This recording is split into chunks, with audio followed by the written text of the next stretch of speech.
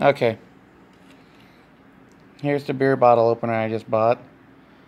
That when you take this cap off, you can shoot it.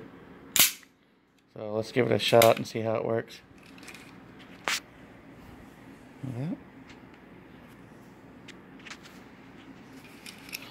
Okay. There it is.